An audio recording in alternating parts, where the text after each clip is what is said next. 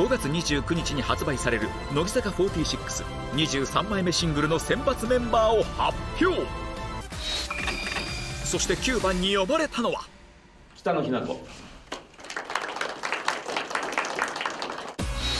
北野日向子が休業明け初の選抜入り。復帰してから3枚目のシングルで選抜に選んでもらうことはうん本当にすごく嬉しいし初めての2列目でどんな景色が待ってるのかもワクワクするんですけどなんか休業してる間に乃木坂のことが本当に好きになってもっとこのメンバーと一緒に頑張りたいって心から思えたので乃木坂を引っ張っていって守っていけるようなメンバーになれるように頑張っていきたいと思います。残りの席は7つ。続いて呼ばれるメンバーは？北野日向子。え？はい。もう。来た2期生。はい2期生から来ちゃったよ。はいおおいで。北野日向子。前作の堀に続いて2期生から2人目の選抜入り。名前呼ばれて今どうですか？本当にいつも自分の努力が足りてなくて。全然期待に沿ってなくて。それはいつも悔しくて。ダンスも下手だし自分でいいとこないなって思って本当に。これからは他の人の分も期待に添えるように、毎日頑張って努力して輝いていきたいまあ1期生2期生っていう分け方はあるけどももう乃木坂ですから皆さん。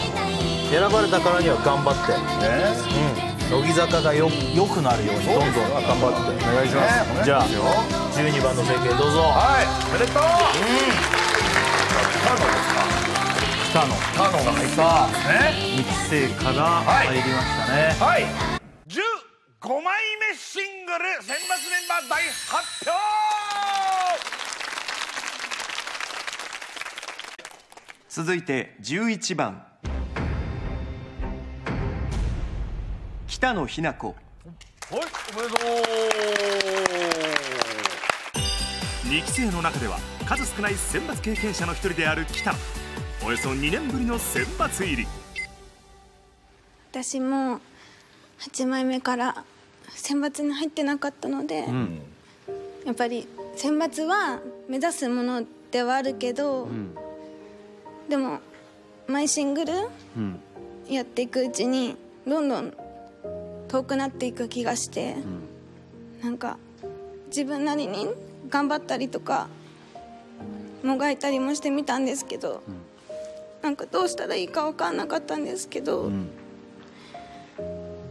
でもこうやって今回選抜メンバーに選んでもらえて前回の8枚目では実力じゃなくて用意してもらった席に選ばれたっていう感じがあったので、今回のシングルは前回のあ選抜メンバーの時よりも先輩とも仲良くさせてもらってるし、私らしくおじけずにもっともっと小さくならないで自分なりの色を出していけたらなと思います。2期生は特にな、乃木坂が上がっていく時に入ってるからさ、だんだん時間が経つにつれてさ何この画像崩せないよって気持ちがすごいあると思うけど、いやもちろんここにいることじの時点ですごいんだけどさ、やめたらもう終わりだからね、もうやるしかないんだよねこれ本当にね。でも実際こう入るわけだから頑張ることは2期生にも目もいったりとか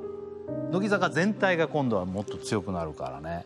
だからもう今回ね噛み締めながら、ねうん、思いっきりやってください、えはい。頑張ってください、ありがとうござい。ます。えー本日は、えー乃木坂4616枚目シングルの選抜メンバーを発表します。18番。北野日向子。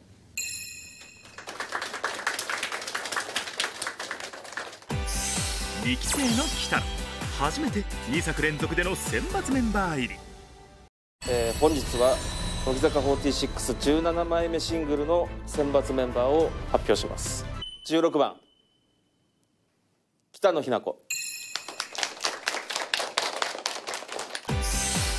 二期生の北野日向子。初の三作連続選抜入り「週刊ビッグコミックスピリッツ」で連載中の原作「朝日奈具」映画に先立ちその舞台版は5月に上演されました。